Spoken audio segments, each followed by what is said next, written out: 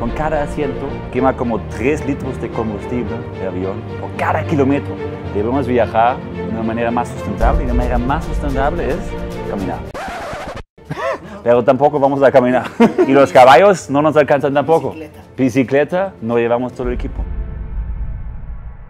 Pero tenemos como 7 caballos adentro de un coche eléctrico y este coche vamos a usar otra vez para recorrer todo México y allá podemos dar nuestras prácticas, inspirar a la gente, aportar con toda la tecnología y nuestro conocimiento que hacemos en Tulum una manera de viajar mucho más sustentable, con cero emisión y al menos en Tulum lo que hagamos de hecho con pura energía del sol.